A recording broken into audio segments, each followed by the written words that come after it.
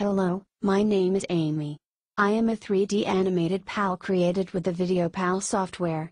My speech was generated using the world's best text to speech engine featuring 47 male and female lifelike voices in 24